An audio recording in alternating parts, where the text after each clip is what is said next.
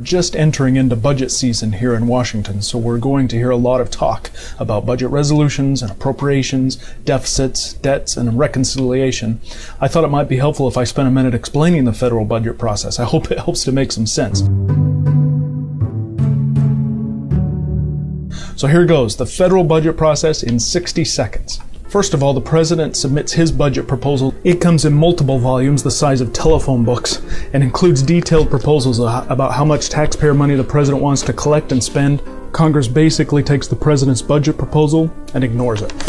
Beginning in March, the House and Senate budget committees work on congressional budget resolutions. Unlike the president's budget proposal, congressional budget resolutions are usually just a few pages long. Like a family budget outlines how much you're going to spend on your mortgage and food and transportation, the congressional budget resolution outlines how much Congress will spend in broad categories like defense and health and transportation. The budget resolution can also include reconciliation instructions to direct changes in existing law like tax reform. Now the House and Senate each pass 12 separate appropriations bills, and that process starts this summer. If a budget resolution is like your family's budget, then an appropriations bill is like writing a check from your bank account. The overall amount for each appropriations bill is limited by the amount set in the budget resolution, but the funding levels uh, for each program can be shifted from one program to another. So if Congress wants to add a few dollars to pay for one program, it has to cut funding from another program.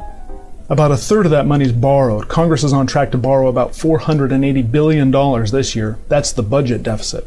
Over time, the budget deficits have added up to more than $18 trillion. That's the national debt.